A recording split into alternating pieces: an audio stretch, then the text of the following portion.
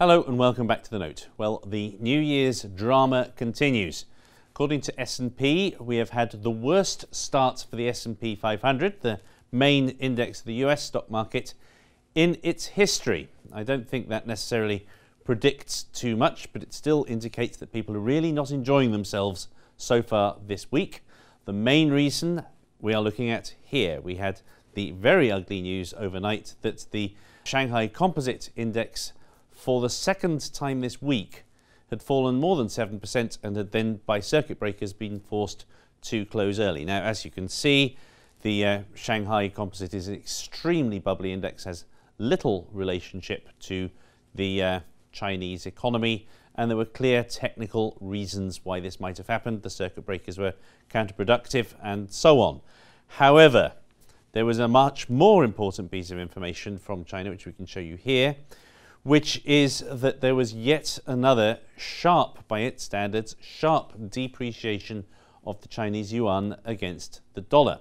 You can remember that huge, uh, in context, that huge depreciation we saw back in August created a great scare. Well, what we've seen since then has been exactly equal to the depreciation we saw back in August.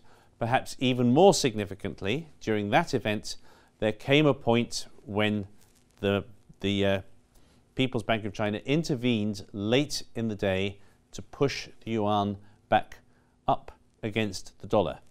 This week we have seen a succession of sharp falls driven by the market, which have not elicited any correcting response from the authorities. So very many people are getting the message. Whether that's what was intended to be sent is another matter. Many people are getting the message that China has decided to allow its currency to fall. Now, that has led to some ugly events on stock markets. Obviously, emerging markets is in ever greater pain, but you can see also developed markets are now almost below their uh, lows from uh, the summer of last year, and broadly speaking, have pretty much given up everything they've gained over the last two years. Now, let's take a look at the most important collateral effects of this. First of all, here we are with the uh, JP Morgan Emerging Markets Financial um, Foreign Exchange Index. This includes the major emerging market uh, currencies. It excludes, very importantly, it excludes the yuan, and you can see that that has dropped to a new low. Then, if you look at the Bloomberg Industrial Metals Index, similarly very sensitive to the strength of the Chinese economy.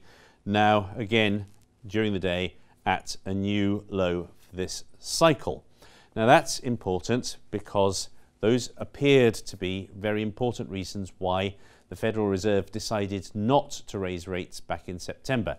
Low metals prices and other low commodity prices imply deflationary pressure uh, and um, falling emerging market foreign exchange implies that there would be even greater dangers to a stronger dollar that would come from raising rates. That's why the Fed passed in September. If that was a reason not to raise in September, the logic would be that there is a stronger reason now not to raise. And therefore, that leads to another very interesting collateral effect of all this. This is derived by Bloomberg from Fed funds futures.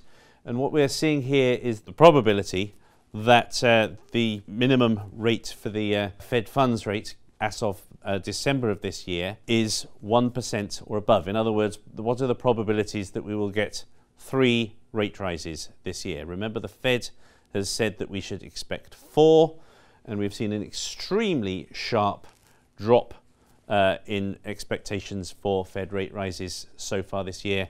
The market now thinks there's only just about a 20% chance that we'll see as many as three rate rises this year. There was a disjunction entering the year between what the Fed was telling us and what the market was expecting.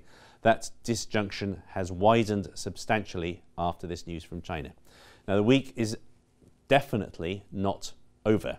We have non farm payroll data to look forward to from the US, always critical information, but at this point it's probably going to be rather secondary to the news from China. Uh, the circuit breakers have been removed, so there is very great interest in whether this will allow the uh, stock market to fall very much further and there will be intense interest once again in the currency. Then we can move on to the non farm payrolls, which perhaps ironically are expected to be very strong. But amid the current psychology, which I suspect is somewhat overdone, but given the current alarm about China, the fear that you really don't know what's going on there and you have to take what signals the authorities send you, amid this current alarm, even the non farm payroll report doesn't seem that important.